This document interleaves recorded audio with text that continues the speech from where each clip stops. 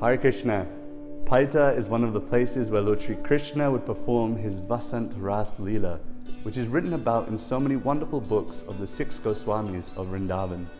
Srila Rupa Goswami explains a wonderful pastime that took place here. Once, Lord Sri Krishna decided to disappear from the sight of all of the gopis during the Rasa Leela because he wanted to be alone only with Srimati Radharani.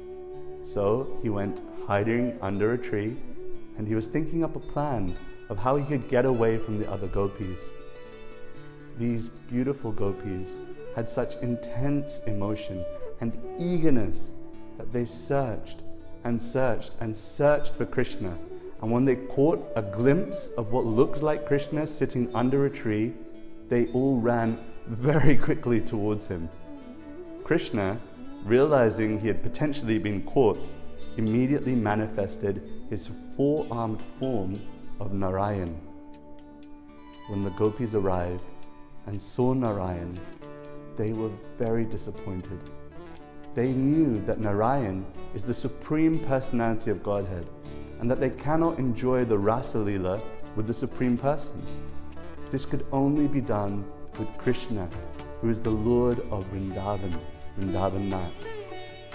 So, the gopis bowed their heads, chanted Om Namo Narayana, and with great reverence they prayed, My dear Lord Narayan, please offer us a benediction. Lord Narayan said, What is it that you desire? They replied, Please give us the benediction that we can find Krishna and always have Krishna. Where has Krishna gone? Narayan, with his four arms, pointed, He's gone that way. So the gopis again bowed down and they quickly ran towards the direction that was pointed out to them by Narayan.